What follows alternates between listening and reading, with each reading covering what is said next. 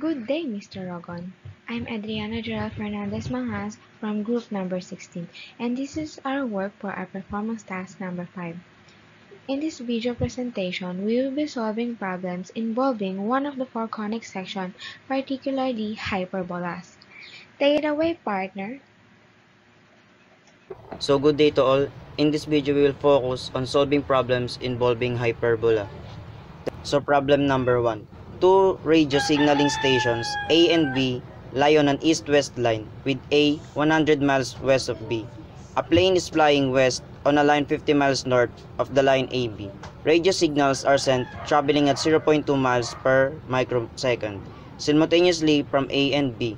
And the, and the one sent from B arrives at the plane 400 400 microseconds before the one sent from A.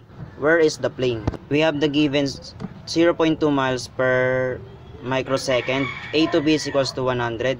A to center is equals to 50. B to center is equals to 50. So C is equals to 50. And 400 microsecond. And lastly, 50 miles north.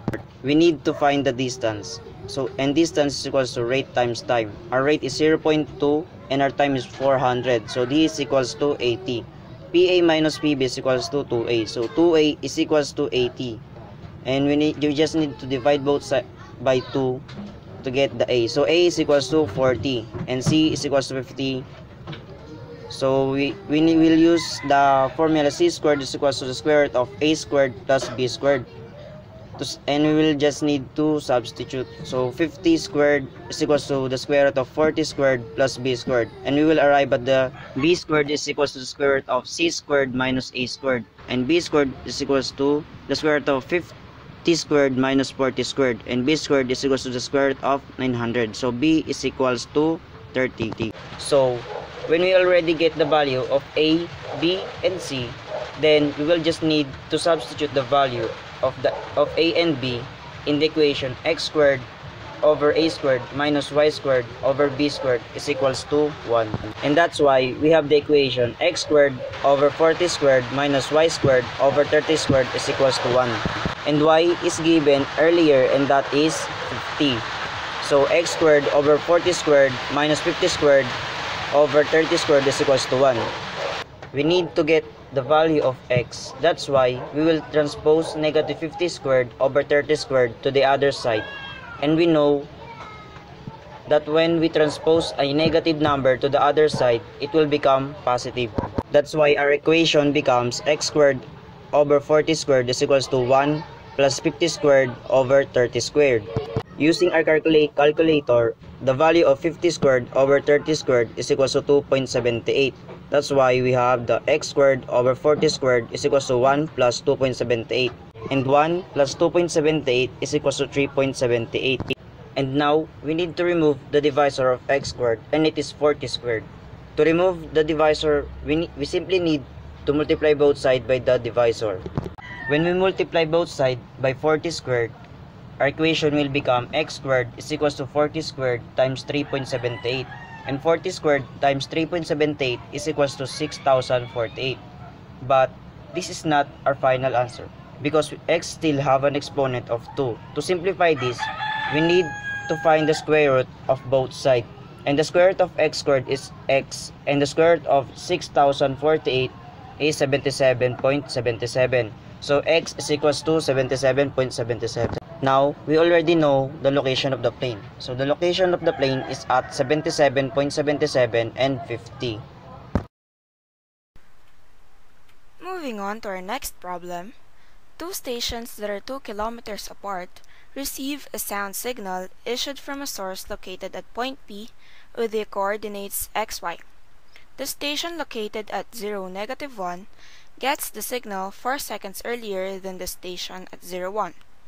Use 0.33 km per second as the speed of sound and find an equation of the hyperbola containing p.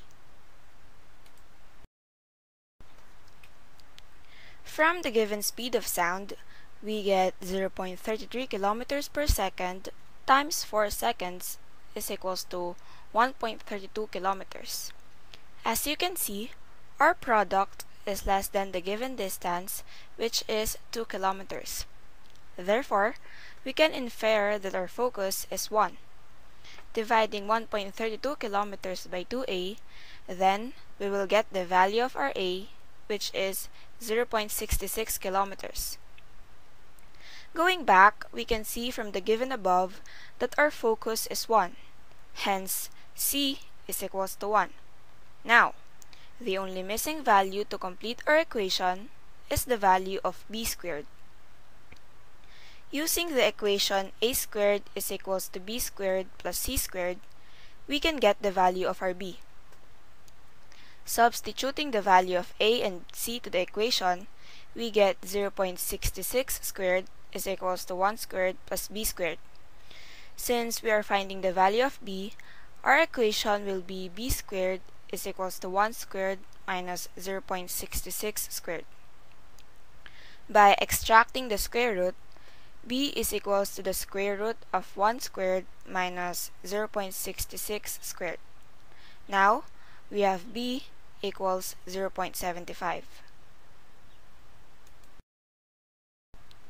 Using all the values we have solved, we can now find the equation of the hyperbola containing p just by substituting the value of a and b to the standard equation. Therefore, x squared over 0.66 squared minus y squared over 0.75 squared is equals to 1 is the equation of the hyperbola containing p. The graph of our hyperbola will somehow look like this.